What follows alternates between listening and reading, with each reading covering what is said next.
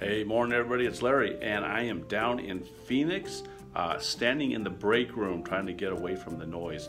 We had an awesome meeting this morning, it was really great. Uh, down here in Phoenix with Glenn uh, Youngblood. Glenn is the new manager uh, Phoenix, and I'll be introducing him to you guys in person on Friday. Um, so this morning, Glenn met with the team down here. We had Annalai, our new payroll lady. You'll meet her on Friday also. Carmen, Michelle, the field guys, Dwayne, our salesman. Uh, it is awesome. Phoenix is really getting turned around and getting some great things happening down here. So excited um, about that. Um, I want to ask you guys to put on your calendar uh, August 30th.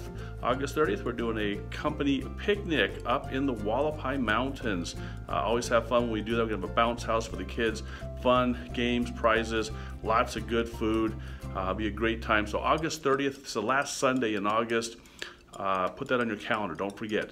And then uh, one other thing is this Friday, company meeting, uh, 7.30, ask you guys all be on time. Uh, Vince Lombardi said if you're 10 minutes early, you're five minutes late. So uh, please be ready for the meeting to start at 7.30. We're doing a Zoom meeting.